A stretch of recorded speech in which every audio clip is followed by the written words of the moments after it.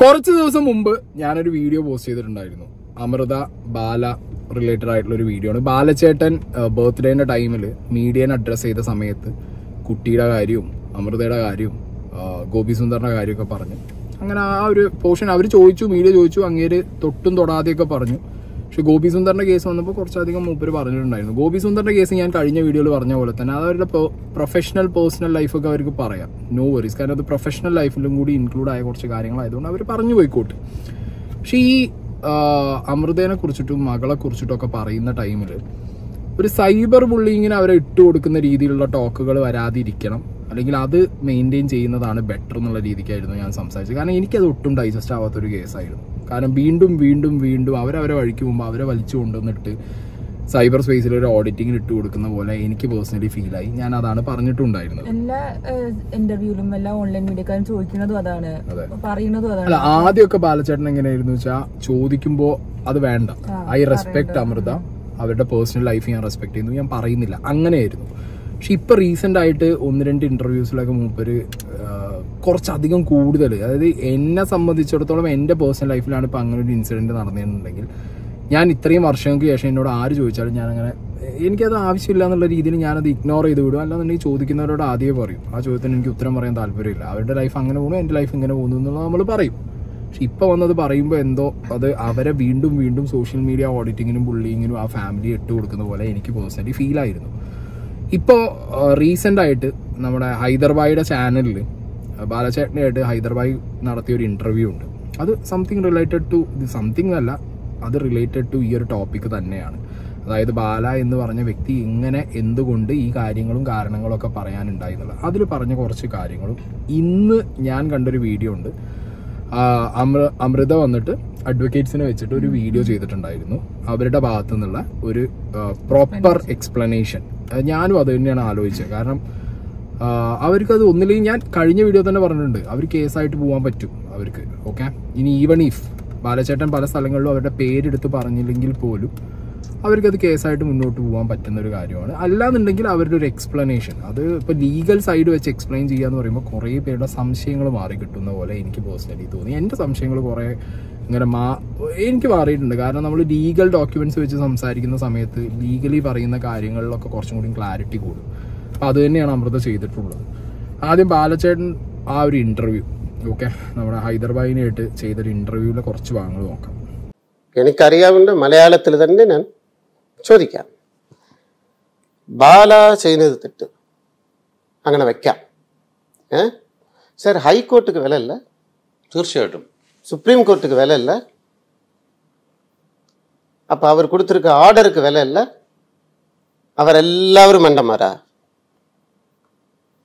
என்ன நியமம் என்ன?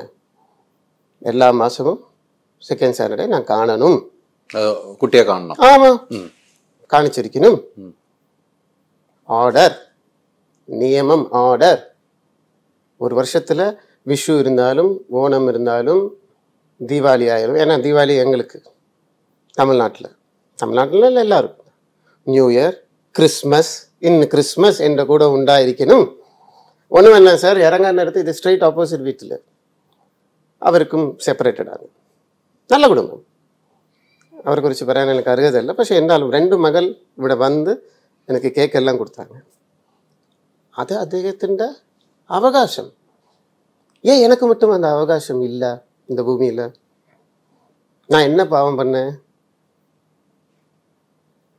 அப்போ ஹைகோர்ட் ஆர்டர் வந்து மோசமாக தெட்டானோ ഓർഡർ കൊടുത്തു കഴിഞ്ഞു അപ്പോൾ ഒരു ഒരു പ്രാവശ്യമും ഭിക്ഷ തന്നെയാണ് സാർ ഓപ്പണാக சொல்கிறேன் எனக்கு நாணக்கேடு இல்லை ஒரு ஒரு പ്രാവശ്യം കോണ്ടാക്ട് ചെയ്ത് കാണട്ടെ ഞാൻ അന്ന് അന്ന് അന്നത്തെ ദിവസം വലിയ എക്സ്പെക്റ്റേഷൻ ഒന്നുമില്ല ജസ്റ്റ് ഒരു ഫോൺ കോൾ പാപ്പു എൻ്റെ പിറന്നാൾ പാപ്പു പറയുന്നു ഹാപ്പി ബർത്ത്ഡേ അപ്പ ഇതിൽ എന്നാ സാർ കുറഞ്ഞു പോകുന്നത് ഓക്കെ ഇതാണ് ബാലചേട്ടൻ ആ ഒരു ഇന്റർവ്യൂവിൽ ഈ കോർട്ട് ഓർഡറിനെ കുറിച്ചിട്ടും കുട്ടിയെ ബാലച്ചേട്ടനെ കാണിക്കാത്തതിനെ കുറിച്ചിട്ടും പറഞ്ഞ കാര്യങ്ങൾ. ഇപ്പൊ ഞാൻ പേഴ്സണലി സംസാരിക്കുന്ന സമയങ്ങളിൽ എനിക്ക് ആ ഒരു ഇമോഷൻ ഫീൽ ആവാറുണ്ട്. ഒരു അച്ഛൻ എന്നുള്ള നിലയ്ക്ക് മകളെ കാണാൻ പറ്റാത്ത ഒരു അച്ഛന്റെ ഇമോഷൻ അങ്ങനെ തന്നെയാണ് ബാലചേട്ടനിൽ നിന്ന് ഞാൻ പേഴ്സണലി മനസ്സിലാക്കിയിട്ടുള്ളത്. പക്ഷെ ആ ഇമോഷൻ എപ്പോഴും ഇപ്പൊ ഈ പറഞ്ഞ പോലെ സോഷ്യൽ മീഡിയന്റെ മുന്നിൽ കൊടുന്ന് പറയുന്ന സമയത്ത് ആളുകൾ കാണുമ്പോൾ എനിക്ക് എങ്ങനെയാണോ പേഴ്സണലി ഇത് പറയുമ്പോൾ കണക്ട് ആവുന്നത്? അതുപോലെ തന്നെ കണക്ട് ആവും. ഇല്ലാന്ന് ഞാൻ പറയുന്നില്ല. പക്ഷെ അതിനകത്ത് വേറൊരു ഡയമെൻഷൻ ഉണ്ടെങ്കിൽ അത് എനിക്ക് മനസ്സിലാക്കാൻ പറ്റില്ല ഈ കാണുന്ന പ്രേക്ഷകർക്ക് മനസ്സിലാവില്ല. ഇപ്പൊ നിങ്ങൾക്ക് ഇത് കേട്ടപ്പോ ആ ഒരു ഇമോഷൻ മനസ്സിലായില്ലേ? ഇമോഷൻ ആ ഒരു ഇമോഷൻ നമുക്കറിയാം. വി റെസ്പെക്ട് ഞാൻ ആ ഒരു ഇമോഷനെ കംപ്ലീറ്റ്ലി റെസ്പെക്ട് ചെയ്യും ഒരു അമ്മയ്ക്ക് ഒരു കുട്ടിയുടെ മുകളിലുള്ള ഇമോഷൻ പോലെ തന്നെയാണ് തുല്യ അവകാശം തുല്യ അവകാശമാണ് ഒരു അച്ഛനും ഒരു കുട്ടിയുടെ മുകളിലുള്ളത്. സോ അത് കണ്ടില്ലെങ്കിൽ വരുന്ന ഇമോഷൻ നമുക്ക് മനസ്സിലാവും. പക്ഷെ ആ ഇമോഷന്റെ മുകളിൽ നമ്മുടെ മെച്യൂരിറ്റി ലെവൽ എനിക്ക് എന്തോ ഒരു ഇമോഷന്റെ മുകളിൽ നമ്മൾ എന്ത് ചെയ്യുക അറിയോ? നമ്മൾ ഭയങ്കര ഇമ്മച്ചുവർ ആവും ചില സമയത്ത്. അച്ഛനമ്മ എന്നുള്ള നിലയ്ക്ക്. എനിക്ക് അങ്ങനെ പേഴ്സണലി ഫീൽ ആവുന്നുണ്ട്. ചില അച്ഛനമ്മമാർ ഈ ഡിവോഴ്സ് കഴിഞ്ഞതിന് ശേഷം മകൾ അല്ലെങ്കിൽ മകൻ കുട്ടി നമുക്കുള്ള കുട്ടിയുടെ മുകളിൽ നമുക്കൊരു അതോറിറ്റി നഷ്ടപ്പെട്ട് കഴിഞ്ഞാൽ പിന്നെ അങ്ങോട്ടും ഇങ്ങോട്ടും ബ്ലെയിം ചെയ്യാൻ തുടങ്ങും. അല്ലേ കംപ്ലീറ്റ് ആയിട്ട് ബ്ലെയിം ചെയ്യും. ഇപ്പോൾ ബാലച്ചേട്ടൻ വന്നിരുന്ന് അമൃതയെ പറയും. അമൃത വന്ന് ഇത് ഞാൻ അവർ പറഞ്ഞു എന്നല്ല പറയുന്നത്. ബട്ട് ഞാനൊരു എക്സാമ്പിൾ പറയുകയാണ് ബാലചേട്ടൻ അമൃതേനെ പറയും. അമൃത ബാലച്ചേട്ടനെ പറയുന്നുള്ളൊരു സിറ്റുവേഷൻ വന്നു കഴിഞ്ഞാൽ ആ കുട്ടിക്കല്ലേ ഇത് എഫക്റ്റ് ആവുക കാരണം ആ കുട്ടി എന്ന് പറയുന്നത് ഈ സൊസൈറ്റി ഞാൻ കഴിഞ്ഞ വീഡിയോ പറഞ്ഞ പോലെ ഇപ്പോഴത്തെ സൊസൈറ്റിയിൽ കുട്ടികൾക്ക് എല്ലാം അറിയാം. കൊച്ചുകുട്ടി ഒരു ആറ് മാസം ഒരു വയസ്സുള്ള കുട്ടിക്ക് അടക്കം ഭക്ഷണം കഴിക്കുമ്പോൾ മുതൽ എല്ലാവരും ഫോൺ കൊടുത്താൽ തുടങ്ങുന്നത്. ഭയങ്കര യൂസ്ഡ് ആണ് ഫോണിനോട് സോഷ്യൽ മീഡിയ ഒക്കെ അവർക്ക് നമുക്കൊക്കെ എത്രാം ക്ലാസ്സിൽ എത്തുമ്പോൾ സോഷ്യൽ മീഡിയ എന്താണെന്നോ അല്ലെങ്കിൽ എന്താണ് ഈ ഒരു സോഷ്യൽ മീഡിയ എന്ന് വേൾഡ് എന്താണെന്നുള്ളത് നമുക്ക് എപ്പോഴാണ് മനസ്സിലാവണേ? അങ്ങനെയല്ല ഇപ്പോഴത്തെ ഏജിലുള്ള കുട്ടികൾക്ക് എന്ന് പറഞ്ഞാൽ ഒന്നാം ക്ലാസ് രണ്ടാം ക്ലാസ് മുതൽ അവർക്ക് അറിയാം what happens in social media നിങ്ങളുടെ ജസ്റ്റ് കണ്ടാൽ അവർ വിശ്വസിക്കുകയും ചെയ്യും. ഒരു ക്യാപ്ഷനിലോ അവർ ഡീറ്റെയിൽ ആയിട്ട് ചെക്ക് ചെയ്യാനോ ഒന്നും പോകില്ല ജസ്റ്റ് കണ്ടത് ആ ഇതിങ്ങനെയാണ് അത് മാത്രല്ലടി പറഞ്ഞു കൊടുക്കാനും ആൾക്കാരുണ്ട്. ഇപ്പൊ ഞാനൊരു എക്സാമ്പിൾ പറയാം. ഈ ഇപ്പോ ഏതെങ്കിലും ഒരു കുട്ടി ഓക്കെ ആ കുട്ടിയുടെ അച്ഛനും അമ്മയും സെപ്പറേറ്റഡ് ആണ്. ആ അച്ഛനും അമ്മയും സോഷ്യൽ മീഡിയയിൽ വന്നിട്ട് അങ്ങോട്ടും ഇങ്ങോട്ടും കാര്യങ്ങൾ ആർഗ്യൂ ചെയ്യാണ്. വേറെ കുട്ടികളുടെ അച്ഛനമ്മമാര് അവരോട് പറയാ എന്താ അറിയോ നിങ്ങളെ ക്ലാസ് പഠിക്കുന്ന ആ കുട്ടിയുടെ അച്ഛനും അമ്മയും ഇങ്ങനെ ആർഗ്യുമെന്റ്സ് ഉണ്ടല്ലോ. ചിലപ്പോ ആ പറഞ്ഞു കൊടുക്കുന്ന അച്ഛനമ്മമാര് ചിലപ്പോ അച്ഛന്റെ ഭാഗമായിരിക്കും ചിലപ്പോ അമ്മയുടെ ഭാഗമായിരിക്കും. എന്നിട്ട് പറഞ്ഞു കൊടുക്കുന്ന എന്താ? അവന്റെ അച്ഛൻ അങ്ങനെ പറഞ്ഞു. അപ്പൊ അവന്റെ അമ്മ അങ്ങനെ തന്നെ. അല്ലെങ്കിൽ അവന്റെ അമ്മ അങ്ങനെ പറഞ്ഞു. അപ്പൊ അവന്റെ അച്ഛൻ അങ്ങനെ തന്നെ. ഈ കുട്ടികൾ നേരെ വന്ന് സ്കൂളിൽ വന്നിട്ട് എന്തെങ്കിലും ഒരു സാഹചര്യം കിട്ടുമ്പോൾ ആ കുട്ടിയോട് പറയുന്നത് നിന്റെ അച്ഛൻ അങ്ങനെയാ നിന്റെ അമ്മ പറഞ്ഞിട്ടില്ലേ? നിന്റെ അമ്മ അങ്ങനെയാ നിന്റെ അച്ഛൻ പറഞ്ഞിട്ടില്ലേ? ഈ സിറ്റുവേഷനിൽ ആ കുട്ടിയെ കൊണ്ടുവന്ന് എത്തിച്ചിട്ടുണ്ടെങ്കിൽ അതിന് ഫുൾ റെസ്പോൺസിബിലിറ്റി ഈ കേസിൽ ഞാൻ ബാലചേട്ടനെ പറയും. കാരണം അങ്ങനെ ഈ കിട്ടുമ്പോൾ കിട്ടുമ്പോൾ ഈ വന്ന് ഓക്കെ അങ്ങയുടെ ഇമോഷൻ റെസ്പെക്ട് ചെയ്യുന്നു. ആസ് ആൻ ഫാദർ അങ്ങേക്ക് കാണാൻ പറ്റുന്നില്ല. അല്ലെങ്കിൽ കുട്ടിയുടെ അടുത്ത് ഇരിക്കാൻ പറ്റുന്നില്ല. ആ ഇമോഷൻ എല്ലാം റെസ്പെക്ട് ചെയ്യുന്നു. പക്ഷെ ആ കുട്ടിക്ക് അങ്ങനെ ഒരു സിറ്റുവേഷൻ വരാൻ കാരണം ഇപ്പം ഈ ഉള്ള തുറന്നു പറച്ചിലുകൾ ഓൾറെഡി ലീഗലി എല്ലാ സൈഡും ക്ലിയർ ആയി പോയൊരു ഇഷ്യൂ ലീഗലി ഡിവോഴ്സ്ഡ് ആയ രണ്ട് പേര്. ലീഗൽ ടേംസ് ആൻഡ് കണ്ടീഷൻസ് അവിടെ ഉണ്ട്. അത് പാലിക്കാൻ ഇവിടെ നിയമങ്ങളുണ്ട്. പാലിക്കാത്ത ആരെങ്കിലും ഉണ്ടെങ്കിൽ അവർക്കെതിരെ അത് പാലിക്കുന്നില്ല എന്ന് പറഞ്ഞാൽ വീണ്ടും ലീഗലായിട്ട് പോവാം. ലീഗൽ ഫൈറ്റ് ചെയ്യാൻ പറ്റും. സോഷ്യൽ മീഡിയ ഫൈറ്റിന് അത് ആ കുട്ടിയെ ബാധിക്കും. എൻഡ് ഓഫ് ദ ഡേ ആ കുട്ടിക്ക് മാത്രമായിരിക്കും അതിന്റെ ഒരു എന്താ പറയാ ആഫ്റ്റർ എഫക്ട് ഭയങ്കരമായിട്ട് അറിയും അതെ. അറിയില്ല അല്ല എനിക്ക് അറിയാം ഞാൻ കേട്ടു. പക്ഷെ എനിക്കത് പറയാൻ പറ്റില്ല ഓക്കെ? അതുകൊണ്ട് ഞാൻ പറയുന്നില്ല. ഇനി ബാലചേട്ടൻ ഇപ്പൊ പറഞ്ഞ ലീഗൽ സൈഡ് ഹൈക്കോർട്ടിന് ഉത്തരവിന് ഒരു റെസ്പെക്ട് ഇല്ല എന്നൊക്കെ ചോദിച്ചു. അമൃത ഇന്നിട്ട വീഡിയോയിൽ അഡ്വക്കേറ്റ്സ് പറയുന്നു പറയുന്നുണ്ട്. സെക്കൻഡ് സാറ്റർഡേയും കാണാം പിന്നെ ഫംഗ്ഷൻസിൽ അതെ. ഏതെങ്കിലും ഒരു ഡേ സ്പെഷ്യൽ ഒക്കേഷനിൽ കാണാന്ന് പറയുന്നുണ്ട്. ഇനി ഇതിൽ ലീഗൽ സൈഡിൽ അവർ പറയുന്നത് കേൾക്കണേ. ബാല പറഞ്ഞ ഒരു അലിഗേഷൻ കുട്ടിയെ പലപ്പോഴും കാണിക്കുന്നില്ല എന്നാണ്. കുട്ടിയെ കാണിക്കുന്ന കാര്യത്തിലും ഈ എഗ്രിമെന്റിൽ തന്നെ ഈ കോംപ്രമൈസ് പെറ്റീഷനിൽ തന്നെ കൃത്യമായ പറഞ്ഞിട്ടുണ്ട്. അതിനകത്ത് പറഞ്ഞത് ഞാൻ വായിക്കാം. The permanent custody of the minor daughter Avantika shall be with the respondent up to the age of eighteen years respondent എന്ന് പറയുന്നത് ഇവിടെ അമൃത സുരേഷ് ആണ്. പെറ്റീഷണർ എന്ന് പറയുന്നത് ബാലകുമാറാണ് അതായത് ഇത് ഗാർഡിയൻ ഒപ്പിയിലാണ് ഈ കോംപ്രമൈസ് ഫയൽ ചെയ്തേക്കുന്നത് ഒരെണ്ണത്തിനകത്ത്. ഇതേ കോംപ്രമൈസ് തന്നെ മറ്റെല്ലാ ഇതിനകത്തും ഫയൽ ചെയ്തിട്ടുണ്ട്. എല്ലാ കേസുകളിലും. ഒരു ഗാർഡിയൻ ഒപ്പി ഉണ്ടായിരുന്നു ഒരു ഡിവോഴ്സ് ഉണ്ടായിരുന്നു ഒരു റിട്ടേൺ ഓഫ് ഗോൾഡ് ഓർണമെന്റ്സ് ഉണ്ടായിരുന്നു ഗോൾഡ് ഓർണമെന്റ്സ് ഉണ്ടായിരുന്നു കോമ്പൻസേഷൻ കൊടുക്കാനുണ്ടായിരുന്നു പിന്നെ ഒരു മെയിന്റനൻസ് അതായത് ജീവനാംശം കൊടുക്കാനുണ്ട് ഈ കേസ് എല്ലാം പിൻവലിച്ചുകൊണ്ടാണ് ഇതിന്റെ അകത്ത് ഈ കോംപ്രമൈസ് എൻട്രി ചെയ്തതും ഈ കോംപ്രമൈസ് പ്രകാരം ആക്ട് ചെയ്യേണ്ടിയിരുന്നത്. അതിന്റെ അടിസ്ഥാനത്തിലാണ് രണ്ടുപേരും തമ്മിൽ മ്യൂച്വൽ കൺസെന്റ് അതായത് പരസ്പര സമ്മതത്തോടുകൂടി വിവാഹമോചനം നേടിയത്. ആ കോംപ്രമൈസ് പെറ്റീഷനിലെ മൂന്നാമത്തെ പേര പറയുന്നത് the permanent custody of the minor daughter Avantika shall be with the respondent up to the age of eighteen years and the respondent will give education to to the minor daughter Avantika the petitioner will only have the right to visit and take the custody of the minor daughter Avantika only on every second Saturday of every month from 10 a.m. to 4 p.m. and for which the minor daughter Avantika shall be handed over and returned on the premises of the Honorable Family Court Ernakulam. The respondent or her mother Laila Suresh shall produce and accept the child on all such second Saturdays at family court premises. The inconvenience of either of the parties should be intimated at least 48 hours prior to the scheduled time of handling over the minor daughter Avantika through phone. First party നമ്പറും second പാർട്ടിയുടെ നമ്പറും ഇതിനകത്ത് കൊടുത്തിട്ടുണ്ട്. അല്ലെങ്കിൽ if not available through available through phone through the email that is Arunachalam pictures at Gmail dot com ഇതാണ് ബാലയുടെ Gmail കോടതി കൊടുത്തിരുന്നത്. ആ അതിനകത്ത് അതിനകത്ത് നിന്ന് അമൃതയുടെ ഇമെയിലോട്ട് ഇമെയിൽ അയക്കണം കാണാൻ വരുന്ന. ഇത് Amrita S R S H at Gmail dot com എന്നുള്ളതിലോട്ട് email അയക്കണം എന്നാണ് പറഞ്ഞത് അപ്പോൾ ഇതിന്റെ അകത്ത് പറയുന്ന അനുസരിച്ച് അവന്തികയുടെ കസ്റ്റഡി മുഴുവനായിട്ടും അമൃതയ്ക്കാണ് കൊടുത്തേക്കുന്നതെന്നും ഈ സെക്കൻഡ് സാറ്റർഡേ മാത്രം കാണാനുള്ള ക്രിസ്മസിനോ ന്യൂ ഇയറിനോ ഒന്നും കാണാനായ ഈ ബാല മിസ്റ്റർ ബാല പറഞ്ഞതുമാതിരി അതൊന്നും ഇതിനകത്ത് പറഞ്ഞിട്ടില്ല. സെക്കൻഡ് സാറ്റർഡേസ് മാത്രം കാണാനുള്ള പെർമിഷൻ കൊടുത്തുകൊണ്ടും അതും പത്ത് മണി മുതൽ ഒരു മണി വരെ അല്ലേ?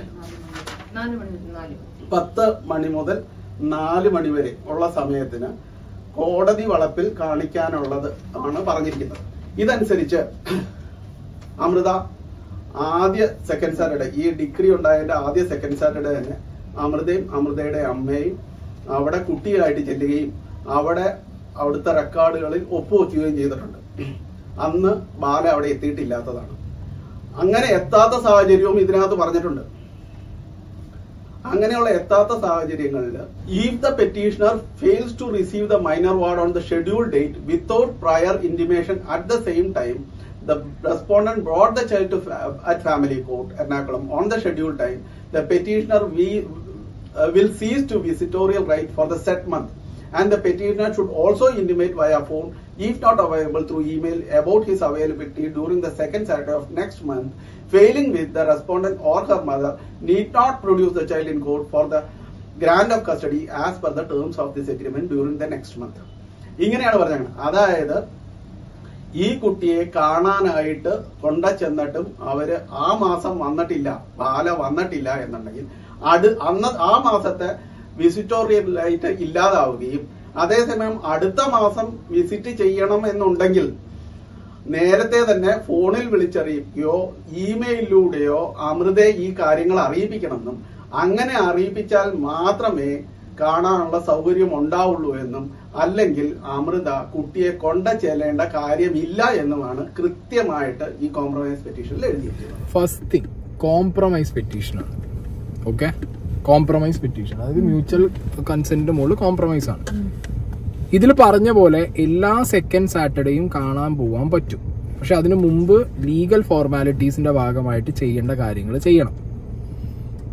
ഇനി അത് ചെയ്തിട്ട് പോവാൻ പറ്റിയില്ലെങ്കിൽ അതിന് റെസ്പോൺസ് കൊടുക്കണം. നെക്സ്റ്റ് മന്തിലേക്കുള്ള ഡേറ്റിന്റെ അവൈലബിലിറ്റി ആദ്യം പ്രയർ ആയിട്ട് പറയണം. ഞാൻ അറിഞ്ഞിടത്തോളം അല്ലെങ്കിൽ ഞാൻ ഇതിന്ന് മനസ്സിലാക്കിയിടത്തോളം എനിക്കിതിലൊരു കാര്യം കൺഫേം ആയത് എനിക്കിട്ട എന്റെ പേഴ്സണൽ പെർസ്പെക്റ്റീവിൽ എനിക്ക് തോന്നിയ തോന്നിയതല്ല എനിക്ക് കൺഫേം ആയൊരു കാര്യം ഞാൻ പറയാം. ഇവിടെ ലീഗൽ ഫോർമാലിറ്റിയിലൂടെ പോവാൻ ബാലചേട്ടൻ റെഡിയല്ല അല്ല. കാരണം ബാലചേട്ടൻ സംസാരിക്കുന്നത് എന്താ ഇമോഷണൽ സൈഡാണ് ബാലചേട്ടൻ പറയുന്നത്. ഞാൻ അച്ഛനാണ്.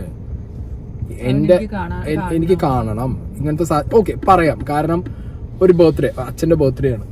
കുട്ടീനെ കൊണ്ട് ഫോണിൽ അതൊക്കെ അവർ അവരുടെ ഇമോഷണൽ സൈഡിൽ അവർ പറയാം. ബാലചേട്ടന് പറയാം. പക്ഷെ ബാലചേട്ടൻ സ്ട്രെസ് ചെയ്ത് പറഞ്ഞൊരു കേസ് ഹൈക്കോർട്ടിന്റെ നിയമമുണ്ട്. നിയമപരമായിട്ട്. അപ്പൊ നിയമമുള്ളപ്പോൾ നിയമം യൂസ് ചെയ്യണം.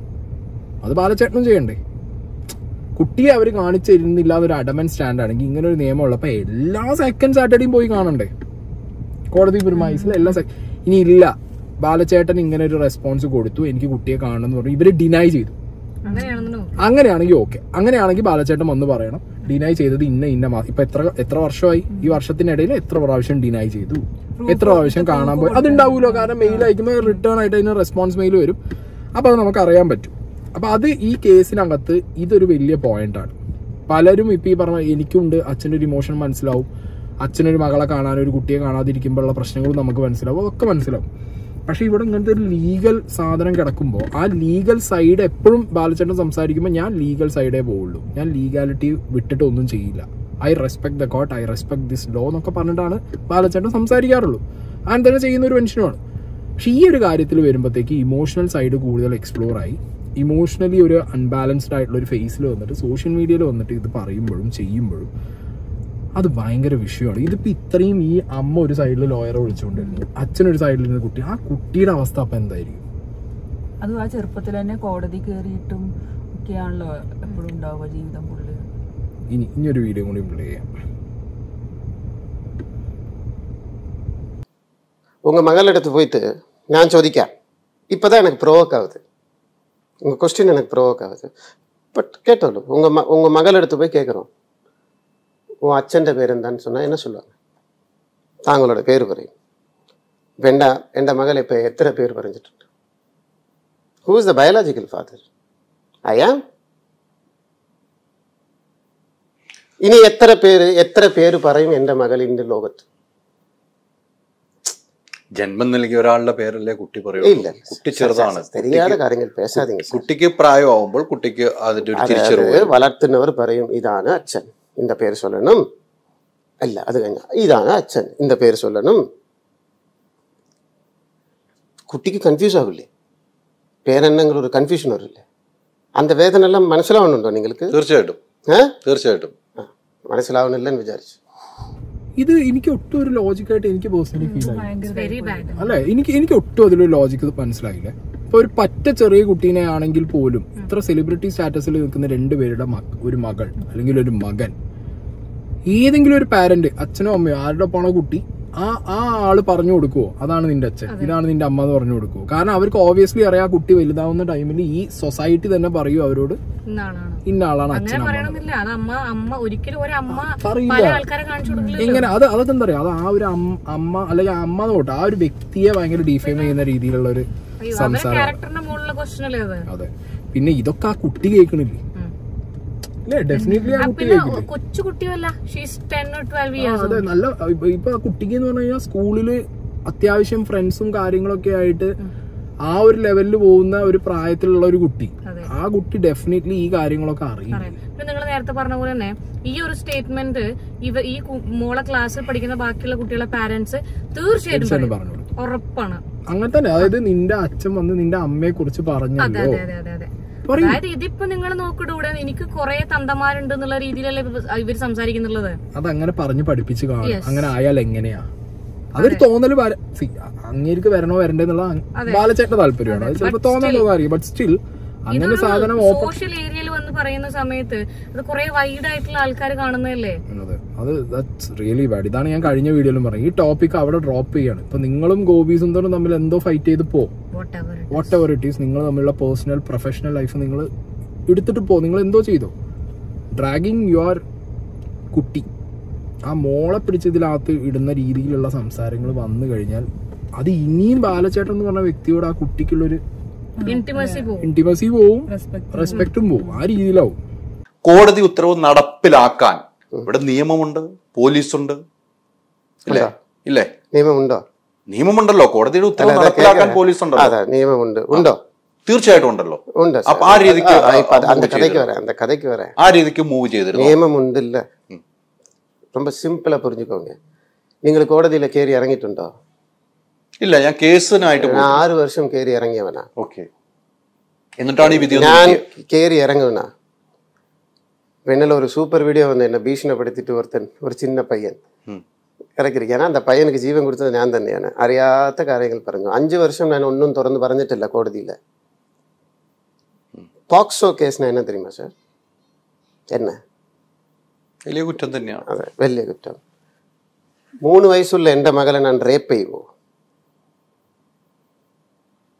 ഞാൻ ചെയ്യുവോ ആയിരത്തി അഞ്ഞൂറ് മേലിലെ പിള്ളേരെ ഈ ഭൂമിയിൽ ഞാൻ പഠിപ്പിച്ചു കൊണ്ടിരിക്കുക ഞാൻ ചെയ്യുവോ എൻ്റെ സ്വന്തം മകളെ പോട്ടാങ്കല്ല കേസ്. കോടതി എടുത്തില്ല. അതും അനുഭവിച്ച ഒരു മനുഷ്യൻ ഞാൻ. കോടതി ഒരിക്കലും എടുത്തില്ല. ചുമ്മാ അറിയാത്ത കാര്യങ്ങൾ ആർക്കും പറയാം.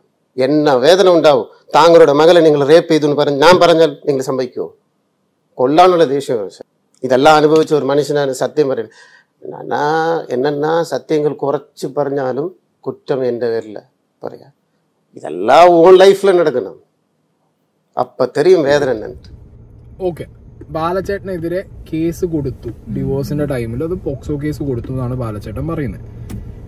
അത് കേസ് എടുത്തില്ല കോടതി. അത് റിജക്റ്റ് ആയി. കേസ് എടുത്തില്ല. ഓക്കെ. കേസ് കൊടുത്തോ? കേസ് എടുത്തില്ല എന്നൊന്നുമില്ല. ഈ കാര്യം വന്ന് പറയുന്ന ടൈമിൽ എഗെയിൻ ആരാ ഡ്രാഗായി വരുന്നത് അതായത് ആ കുട്ടി കൺഫ്യൂസ്ഡ് ആവില്ലേ?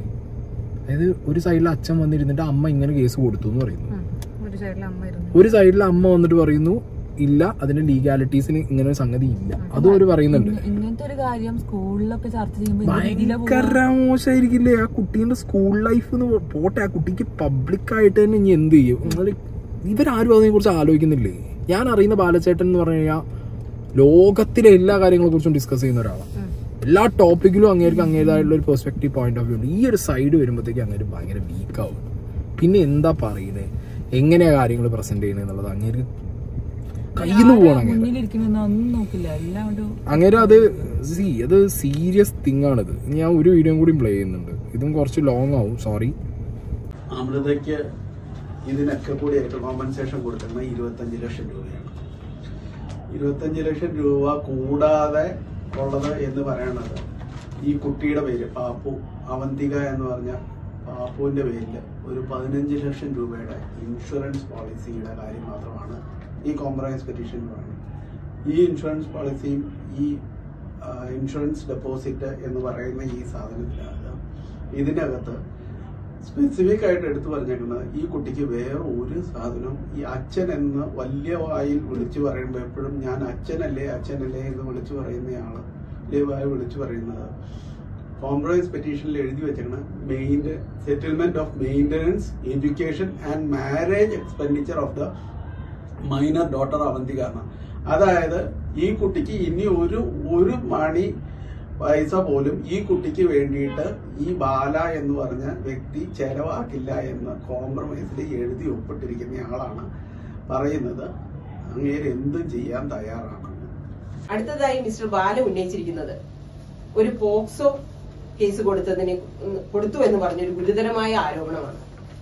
എന്നാൽ ഒരു പോക്സോ കേസ് കൊടുക്കുകയാണെങ്കിൽ ഇമ്മീഡിയറ്റ് ആയിട്ട് ക്രൈം രജിസ്റ്റർ ചെയ്യുകയും റിമാൻഡ് ചെയ്യുകയും ചെയ്യും. പക്ഷെ ഞങ്ങൾ വെരിഫൈ ചെയ്ത ഡോക്യുമെന്റിൽ ഒന്നും തന്നെ അങ്ങനെ ഒരു പോക്സോ കേസ് കൊടുത്തതായിട്ട് കാണുന്നില്ല. കൂടാതെ അമൃതയോട് ചോദിച്ചപ്പോഴും അങ്ങനെ ഒരു കേസ് കൊടുത്തതായിട്ട് പറയുന്നുമില്ല. അപ്പോൾ തികച്ചും ഗുരുതരമായ ഒരു ആരോപണം ഉന്നയിച്ചിരിക്കുന്നത് തന്നെ അമൃതയെ തേജോധം ചെയ്യുവാനാണെന്നാണ് എനിക്ക് തോന്നുന്നത്. ഓക്കെ അപ്പോ ബാലച്ചേട്ടൻ വന്നു ഇരുന്ന് പറഞ്ഞ കേസ് മേ ബി ആരെങ്കിലും പറഞ്ഞു കൊടുത്തതായിരിക്കും. അവരുടെ സൈഡിൽ നിന്ന് അങ്ങനെ ഒരു കേസിന് പോകുന്നുണ്ടെന്നുള്ള ഒരു ഒരു ആരെങ്കിലും മിസ്ലീഡ് ചെയ്തതായിരിക്കും. രണ്ടാമത്തെ കാര്യം ഇതിനകത്ത് കുട്ടിക്ക് ഇനി മുതൽ ഒന്നും ബാലച്ചേട്ടൻ കൊടുക്കില്ല എന്നുള്ള കാര്യം ലീഗലി അവിടെ ഡിവോഴ്സ് പേപ്പറിൽ ആ ഒരു ഇൻഷുറൻസിന്റെ സർട്ടൻ എമൗണ്ട് കഴിഞ്ഞാൽ പിന്നെ ആ കുട്ടിക്ക് ഒന്നുമില്ല. അതെനിക്ക് തോന്നുന്നത് എന്താ വെച്ചാൽ ആ ടൈമിലുള്ള ഒരു ദേഷ്യം കാണും. അതിപ്പോ ഈ പറഞ്ഞ അമൃതയോടുള്ള ദേഷ്യമായിരിക്കും അതിപ്പോ അങ്ങനെ തന്നെ കൊടുക്കണമെന്നില്ലല്ലോ. ബാലച്ചേട്ടൻ ഇപ്പോഴും ആ കുട്ടിക്ക് എന്തും കൊടുക്കും. സോ അതൊക്കെ കോടതിയിൽ കോടതി പേപ്പേഴ്സിന് വേണ്ടിയിട്ടോ അല്ലെങ്കിൽ ആ ദേഷ്യത്തിന്റെ സമയത്തും ചെയ്ത കാര്യമായിരിക്കും. എനിക്ക് പേഴ്സണലി തോന്നുന്നില്ല ബാലച്ചേട്ടൻ ആ കുട്ടിക്ക് ഒന്നും കൊടുക്കാതിരിക്കില്ല. ആ ബാലച്ചേട്ടനുള്ള എല്ലാം ആയിരിക്കും. ആ കുട്ടിക്കായിരിക്കും. എനിക്കറിയുന്ന ബാലച്ചേട്ടൻ അങ്ങനെ ചെയ്യും. അത് ഞാൻ ആദ്യം പറയുന്നു. അത് ഞാൻ പരിചയപ്പെട്ടതും എനിക്ക് അറിയാവുന്ന ഒരാളോ ഇതുകൊണ്ട് ഞാൻ പറയുകയാണ് ലീഗൽ ടേംസും പേപ്പേഴ്സും ഒക്കെ ദാറ്റ്സ് ഡിഫറെന്റ് ഗെയിം ആ ടൈമിൽ അങ്ങനെ തോന്നി അങ്ങനെ ചെയ്തതായിരിക്കാം. മേ ബി പക്ഷെ ഇപ്പം അത് വെച്ചിട്ട് നമുക്ക് ഇനി ഒന്നും കൊടുക്കില്ല അങ്ങനെ പറയില്ല. എനിക്ക് എനിക്കത് തോന്നുന്നില്ല. പേപ്പേഴ്സ് പേപ്പേഴ്സ് അവിടെ ഉള്ളു. പക്ഷേ ഈ കേസിന്റെ കാര്യം കേസിന്റെ കാര്യം ഒരു എന്താ പറയുക ഒരു തരത്തിലുള്ള പ്രൂഫുകളും ഇല്ലാതെ ബാലച്ചേട്ടൻ വന്ന് പറയുമ്പോൾ ഈ സൈഡിൽ നിന്ന് അതിനൊരു ലീഗൽ സൈഡിൽ മൊത്തം ഡോക്യുമെന്റ്സ് നോക്കി വായിച്ചൊരു അഡ്വക്കേറ്റ് വന്ന് അഡ്രസ്സ് ചെയ്യുന്നത് ദാറ്റ്സ് ഡിഫറെന്റ് അപ്പൊ അത് പറഞ്ഞത് കുറച്ച് സീന് കാര്യം തന്നെയാണ്. അതൊന്നും പറയേണ്ടിയിരുന്നു ഞാൻ വീണ്ടും വീണ്ടും പറഞ്ഞു ഇതൊന്നും പറയേണ്ട ആവശ്യമേ ബാലചേട്ടൻ ഇല്ല അഭിരാമി സുരേഷിന് ഏതെങ്കിലും ഒരു ഇന്റർവ്യൂൽ പറഞ്ഞിട്ടുണ്ട്? ഇന്നുവരെ പറഞ്ഞിട്ടില്ല. ഏതെങ്കിലും ഒരു കുറ്റം ഞാൻ പറഞ്ഞിട്ടുണ്ട്? ഇല്ല ഇല്ല അവസാനം ഞങ്ങൾ പ്രിയം പ്രിയ ഞാൻ ലാസ്റ്റ് അഭിരാമിയെ ഈ വീടിന്റെ വാതിക്കൽ ഇവിടെ കണ്ണവാടാന്ന് ഏറെ വന്നു. ചേട്ടാ കട്ടിപിടിച്ച് എനിക്ക് ഇപ്പോഴും അവ അനിയത്തിതാ അനിയത്തി കുട്ടിതാ അവൻ നെറ്റിലെ ഉമ്മ പിടിച്ച് നല്ല ഇരിക്കുന്നുണ്ടെ അവൾ എനിക്ക് ഒരു തെറ്റും ചെയ്തിട്ടില്ല. അവൾ വളരെ ക്ലിയർ ആയിരുന്നു. എനിക്ക് മാരേജ് ജീവിതം വേണ്ട ചേട്ടാ ഞാൻ ബിസിനസ് വേണ്ടി ഞാൻ நல்லா இருக்கான்னு അവ ക്ലിയർ ആർക്കാ ബട്ട് അവൾ ഇപ്പോൾ എന്നെ കുറിച്ച് എന്തോ ഇട്ടിരിക്കുകയാണ് ഞങ്ങൾ ജീവിച്ചു പോട്ടെ ഓക്കെ ജീവിച്ചു പോ ഞാനും ജീവിച്ചു പോട്ടെ ഞാൻ ജീവിച്ചു പോട്ടെ നിയമം നിങ്ങൾ പാലിക്ക് ഞാനും പാലിക്കാം നിയമം പാലിക്കാം ഉനക്ക് സന്തോഷം എനക്കും സന്തോഷം നമ്മൾ രണ്ടുപേരും നല്ല രീതിയിൽ ജീവിക്കാം ஏன் ஒருத்தரை மட்டும் ஹர்ட் பண்ணிக்கிட்டே இருக்க அதில் ஒரே ஒரு பாயிண்ட் மட்டும் எனக்கு മനസ്സിലായില്ല അത് ഞാൻ തെളിയിച്ച് പറയും. ചിലപ്പോൾ അറിവില്ലാമയായിരിക്കും ഞങ്ങൾക്കൊരു കുട്ടിയുണ്ട്. അതും ഒരു പെൺകുട്ടി. ഞങ്ങൾക്കില്ല. അവന്തിക്ക പാപ്പു ബേബിങ്കരുത് എനിക്കും അമൃതാക്കുമുള്ള കുട്ടി. അല്ലാണ്ട് അവരുടെ കുടുംബത്തിലുള്ള ഒരു കുട്ടിയല്ലത്.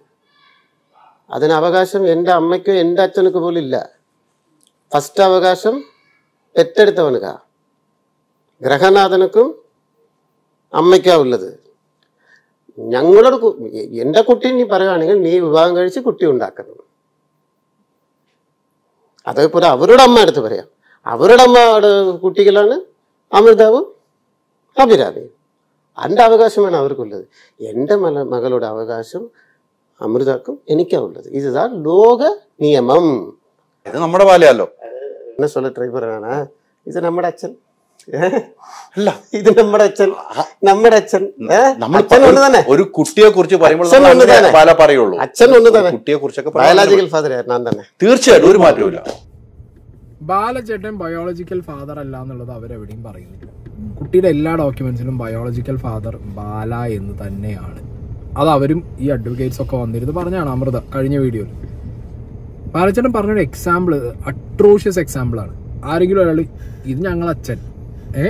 അങ്ങനെ അങ്ങനെ ആരെങ്കിലും പറയും. ഇപ്പൊ രണ്ടു മൂന്ന് ആൾക്കാർ അറിഞ്ഞിട്ട് കുട്ടികളെ കാര്യത്തിൽ നമ്മളത് പറയും. അതൊരു ഞാൻ ഞാൻ അമ്പുടു എന്റെ ചേച്ചീന്റെ മോനാണ് ബട്ട് സ്റ്റിൽ ഞാൻ പറഞ്ഞത് എന്റെ മകൻ. അതെ. ഇവിടെ അമൃത പറയാനും ഒരു കേസുണ്ട്. അമൃതയല്ല അഭിരാമി ഒരു കേസുണ്ട്. അമൃത അടക്കം ഷൂട്ടിനും കാര്യങ്ങളിലും പോകുമ്പോ ആ കുട്ടിയെ നോക്കുന്നത് അഭിരാമിയാണ്.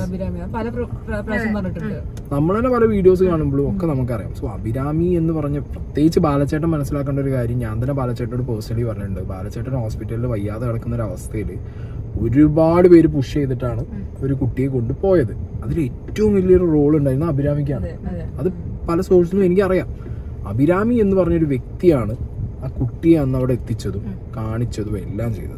അഭിരാമി എന്ന് പറഞ്ഞ വ്യക്തി ഇന്നേ വരെ എന്റെ അറിവിൽ ഞാൻ എവിടെയും കണ്ടിട്ടില്ല. ഒരു സോഷ്യൽ മീഡിയ പ്ലാറ്റ്ഫോമിൽ എവിടെയെങ്കിലും ബാലച്ചേട്ടൻ എന്നല്ലാതെ ഒരു വാക്ക് ഉപയോഗിച്ചിട്ടില്ല. എടുത്ത് പറയാറുണ്ട്. ആ എടുത്ത് പറയാറുണ്ട്. ഞാൻ റെസ്പെക്ട് ചെയ്യുന്നു ബാലച്ചേട്ടൻ എന്ന് പറഞ്ഞത് സംസാരിക്കാറ്. ആ അഭിരാമി നിങ്ങളോ നിങ്ങളുടെ അമൃതയോ ഇല്ലാത്തൊരു ടൈമിലോ അല്ലെങ്കിൽ നിങ്ങൾ ഉള്ളപ്പോൾ തന്നെ ആ കുട്ടി ഇത്ര അടിപൊളിയായിട്ട് നോക്കുന്നുണ്ടെങ്കിൽ നിങ്ങളുടെ മകളാണെങ്കിലും അമൃതയുടെ മകളാണെങ്കിലും അഭിരാമിക്ക് അഭിരാമിയുടെ മകൾ എന്ന് പറയാം. സ്വന്തം മകളെ സ്വന്തം മകളെ പോലെ പറയാം. അതങ്ങനെയാണ്. നമ്മുടെ ചേച്ചിയുടെ മകൾ മക്കൾ എന്ന് പറയുന്നത് നമ്മുടെ സെക്കൻഡ് മദർ ആണ് നമ്മൾ അല്ല അത് ബാലചേട്ടൻ അറിയാണ്ടല്ല അപ്പൊ ഈ ബാലചേട്ടൻ തന്നെ ഞാൻ സംസാരിക്കുന്ന സമയത്ത് പല കുട്ടികൾക്കും നല്ല ചാരിറ്റി പ്രവർത്തനങ്ങൾ ചെയ്തിട്ട് എൻ മക്കൾ. എൻ മക്കൾ എന്ന് പറയും. അപ്പൊ ഞാൻ ബാലചേട്ടനോട് ചോദിച്ചിട്ട് അതെങ്ങനെ ബാലചേട്ടാ? അത് എൻ മക്കൾ എന്ന് പറയും. നിങ്ങളെ മക്കളാവുമെന്ന് ഞാൻ തിരിച്ചു ചോദിച്ചാലുണ്ടാവും സി അതൊരു എന്താ പറയാ ഇതൊരു ആർഗ്യുമെന്റിന് വേണ്ടി പറയുന്നതാണ്. ഹൈദരലി എന്ന് പറഞ്ഞ വ്യക്തി അവിടെ കൃത്യമായി ചോദിക്കുന്നുണ്ട്. അതിപ്പോ ഞാൻ കൊളോക്കിയിൽ നമ്മൾ പറയില്ല പറയൂലോ എന്ന് പറയുമ്പോൾ അതിനൊരു ആർഗ്യുമെന്റ് ആയിട്ട് എൻ അച്ഛൻ ഞങ്ങളുടെ അച്ഛൻ എന്ന് പറയുമെന്നുള്ളത് അപ്പൊ ചുമ്മാ വെറുതെ ഒരു ഡിസ്കഷൻ ഇരുന്നിട്ട് അങ്ങോട്ടും ഇങ്ങോട്ടും തമ്മിൽ തല്ലാൻ വേണ്ടി പറയാം. അല്ല അത് അതൊന്നും കോമൺ സെൻസ് ഉള്ള ഒരാൾക്ക് ഡൈജസ്റ്റ് ആവുന്ന ഒരു കാര്യമല്ല. അത് പല സാഹചര്യങ്ങളിലായിട്ടും ബാലച്ചേട്ടൻ പല ടൈമിലും ഔട്ട് ഓഫ് ദ ബോക്സ് സംസാരത്തിൽ നിന്ന് വളരെ പുറത്തുള്ള കാര്യങ്ങളൊക്കെ ഇരുന്ന് പറയുന്നത് കേൾക്കാം. അതുപോലെ പറഞ്ഞതായിട്ട് എനിക്ക് പേഴ്സണലി തോന്നിയിട്ടുള്ളൂ എന്താണ് ഈ ഒരു കാര്യത്തിൽ ഞാൻ ഫസ്റ്റ് വീഡിയോ പറഞ്ഞതന്നെ എനിക്ക് ഇനിയും പറയാനുള്ളത്. അൺവാണ്ടഡ്ലി കുട്ടിയെ വലിച്ച് ഡ്രാഗ് ചെയ്തിട്ടിട്ട് ഒരു കാര്യമില്ല ആ കുട്ടി വളരുന്ന കുട്ടിയാണ്. പീസ് ഓഫ് മൈൻഡ് വേണം. അതിന് അതിന്റെ എൻവയോൺമെന്റിൽ ജീവിക്കാൻ പറ്റണം. അച്ഛനമ്മമാർ തമ്മിലുള്ള ഈഗോ അല്ലെങ്കിൽ പ്രശ്നങ്ങൾ കാരണം കുട്ടിയുടെ ലൈഫിൽ കുട്ടിക്ക് സ്വസ്ഥതയും സമാധാനവും സന്തോഷവും നഷ്ടപ്പെട്ടു കഴിഞ്ഞാൽ അതിന്റെ റെസ്പോൺസിബിലിറ്റി നിങ്ങൾക്ക് തന്നെയാണ്. പാരന്റ്സ് എന്നുള്ളവർക്ക് നിങ്ങൾക്കാണ്. Legal fight is fine fine അത് നിങ്ങൾ ചെയ്ത് അതിന് കേപ്പബിൾ ആണല്ലോ. അതിന് പറ്റാത്തവരല്ലല്ലോ. പാലച്ചട്ടൻ കേപ്പബിൾ ആണ്. അമൃത കേപ്പബിൾ ആണ്. സ്റ്റിൽ ഡൂടെ എന്തറിയോ ഇവരിപ്പോ ലീഗൽ ഫൈറ്റ് നടത്തുമ്പോൾ ആ കുഞ്ഞിനെ ബാധിക്കും. കാരണം സ്വാഭാവികമായിട്ടും ഒരു മെന്റൽ സ്ട്രെസ് അമ്മയ്ക്ക് ഉണ്ടാവും അത് വീട്ടിൽ കാണി കാണൂലോ? പോട്ടെ. അതൊക്കെ സൈഡാക്കി അവർ കുട്ടിയെ നോക്കുന്നു വിചാരിച്ചുള്ളൂ. ലീഗൽ ഫൈറ്റ് ആണെങ്കിൽ അത് കോടതിയിലേ ഉണ്ടാവുള്ളൂ. അതും അങ്ങനെ വിചാരിച്ചുള്ളൂ. പക്ഷെ ഈ സാധനം മാറുന്നത് എവിടെയാന്ന് വെച്ച് കഴിഞ്ഞാൽ ഈ കുട്ടിക്ക് ഒരു പത്താളെ മുന്നിലോ ഒരു അഞ്ചാളുടെ മുന്നിലോ ഒരു കോടതിയിലോ ഒരു ലീഗൽ ടേംസ് നടക്കുന്ന സ്ഥലത്തോ ആ കുട്ടിക്ക് കുട്ടിയുടെ എന്തില്ല. കുട്ടിക്ക് തോന്നുക ഓ എന്റെ ഇമോഷൻസ് ഇത്ര പേരിലേ കാണുന്നുള്ളൂ. ഇതല്ലോ ഇതല്ലല്ലോ ഇഷ്യൂ പ്രൈവറ്റ് ആയിട്ടാണ് ലീഗൽ ഫൈറ്റ് അതെ നടത്തുന്നതെങ്കിൽ ആ ഇത് ഇത് എന്തൊക്കെയോ പറയും. കുട്ടി കൺഫ്യൂസ്ഡ് ആവും. അച്ഛനാണോ ശരി? അമ്മയാണോ ശരി? ഞാൻ എങ്ങനെ എന്റെ അവസ്ഥ എന്താ? കുട്ടി കുട്ടി എപ്പോഴും കമ്പയർ ചെയ്യും എന്റെ ജീവിതം ബാക്കി കുട്ടികളെ പോലെ അല്ലല്ലോ എന്ന് ചിന്തിച്ചു കഴിഞ്ഞാൽ പോയില്ലേ. അവിടെ പോയി ആ കുട്ടിയുടെ ലൈഫ് അവിടുന്ന് കൺഫ്യൂസിങ് ആയി. അതുകൊണ്ടാണ് ഞാൻ പറഞ്ഞത് നിങ്ങൾ ബാക്കി ആരായിട്ടുള്ള ഫൈറ്റ് നിങ്ങൾ തീർത്തോ? കുട്ടിയുള്ള സമയത്ത് പ്ലീസ് ഡോണ്ട് ഡു ദിസ് അത് സോഷ്യൽ മീഡിയ ഓഡിറ്റിംഗ് ഇപ്പൊ ഞാൻ ബാലചേട്ടൻ അടുത്തറിയുന്ന ഒരു വ്യക്തിയാണ്. എനിക്കടക്കം ഞാൻ സോഷ്യൽ മീഡിയയിൽ ഇങ്ങനെ വീഡിയോ ഇടുന്ന ഒരു വ്യക്തിയാണ്. സോ എനിക്ക് എന്റെ ജോബ് എന്ന് പറയുമ്പോൾ എനിക്ക് ബാലചേട്ടനെ ചോദിച്ചത് സൈഡാക്കാൻ പറ്റുമോ? ഇല്ല. സോ സോഷ്യൽ മീഡിയ ഓഡിറ്റിംഗ് ഞാനടക്കം ചെയ്തു. എത്ര പേര് ചെയ്യും? ഒരുപാട് പേര് അവരുടെ പെർസ്പെക്റ്റീവ് പറയും. നിങ്ങളുടെ ലൈഫ് നിങ്ങൾ തന്നെ ഇട്ട് കൊടുക്കുമ്പോൾ റിയൽ റിയാലിറ്റി എന്ന് പറഞ്ഞ സാധനത്തിനകത്ത് ഇരുന്നിട്ട് എല്ലാവരും അവരുടെ പെർസ്പെക്റ്റീവ് സംസാരിക്കും. അതൊക്കെ പിന്നെയും നിങ്ങൾ കേൾക്കണ്ടേ അത് വീണ്ടും ഇമോഷണൽ ഡാമേജിലേക്ക് കൊണ്ടുപോയി നേരത്തെ പറഞ്ഞ പോലെ അഭിരാമി വീട്ടിൽ വന്നു ബാലച്ചേട്ടാന്ന് വിളിച്ച് സംസാരിക്കുന്നുണ്ട് പറഞ്ഞു. എന്നിട്ട് എന്തോ എഴുതി എന്നുള്ള ഫേസ്ബുക്ക് പക്ഷെ നമ്മൾ കണ്ടിടത്തോളം നമ്മൾ അങ്ങനെ ഒരു കുറ്റം പറിച്ചിലോ അങ്ങനെ ഭയങ്കരമായിട്ട് ഇല്ല അഭിരാമിയുടെ കേസ് എന്ന് പറഞ്ഞു കഴിഞ്ഞാൽ അഭിരാമിക്ക് ഇവരെക്കാൾ കൂടുതൽ കൺസേൺ എനിക്ക് തോന്നുന്നു ഇവർ കൺസേൺ ചെയ്യുന്നേക്കാൾ കൂടുതൽ ആ കുട്ടിയുടെ കൺസേൺ അഭിരാമിയെ ചെയ്യുന്നത്. അപ്പൊ അവരത് ചെയ്യുന്നുണ്ടെങ്കിൽ ഡെഫിനറ്റ്ലി അവർ ആ ഒരു റൈറ്റ് ചെയ്യണ്ടേ. കാരണം അച്ഛനും അമ്മയും കൂടി വന്ന് സോഷ്യൽ മീഡിയനകത്ത് രണ്ടുപേരും അങ്ങോട്ടും ഇങ്ങോട്ടും എന്തെങ്കിലും പറഞ്ഞു തുടങ്ങിയ ആ കുട്ടിയുടെ സൈഡിൽ നിന്ന് സംസാരിക്കാൻ ഡെഫിനറ്റ്ലി അത് അഭിരാമിയേ ഉള്ളൂ. വേറെ ആരും ഇല്ല അവിടെ. അത് അഭിരാമി ചെയ്യുന്നു. അത്രേ ഉള്ളൂ അതിൽ. അതുകൊണ്ട് ഇത് ഡ്രാഗ് ചെയ്ത് പോകാതിരിക്കുന്നതാണ് ബെറ്റർ കാരണം ആ കുട്ടിയുടെ ലൈഫ് കാരണം ഇപ്പൊ ഈ പറയുന്ന എല്ലാവരുടെയും ലൈഫ് പോലെ ആയിരിക്കില്ല കുട്ടിയുടെ ലൈഫ് നിങ്ങൾ നിങ്ങളുടെ കുട്ടിക്ക് വേണ്ടിയാണെന്നുണ്ടെങ്കിൽ നിങ്ങൾ സൈലന്റ് ആവുക. നിങ്ങൾക്ക് തീർക്കാനുള്ളത് നിങ്ങൾ പ്രൈവറ്റ് ആയിട്ട്. ഒരു കോംപ്രമൈസോ ടോക്കോ ഇനി ലീഗൽ ഫോർമാലിറ്റീസിൽ എന്തെങ്കിലും ഉണ്ടെങ്കിൽ അങ്ങനെയൊക്കെ തീർക്കുക. ഞാനിങ്ങനെ ഇന്റർവ്യൂസ് കൊടുത്തിട്ടില്ലെങ്കിൽ സോഷ്യൽ മീഡിയയിൽ ഈ സാധനം കൊണ്ടുവന്ന് തീർക്കരുത്. യെസ്